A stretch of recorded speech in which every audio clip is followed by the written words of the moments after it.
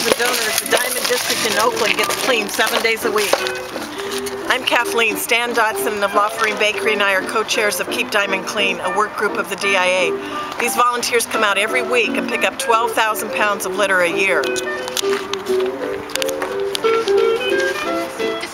Marion and Don are helping us celebrate our success and thank our dedicated volunteers who make such a difference in our community.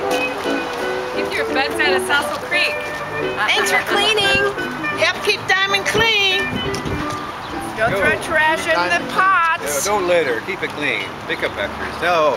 Keep Dimond clean. Dimond. Save the bay.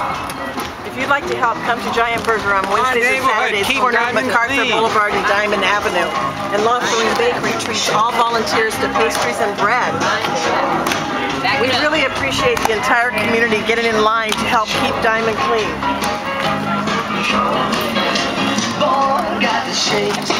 If you can't come out and pick up litter, you can donate to keepdimondclean.com. We hire a cleaning group five days a week.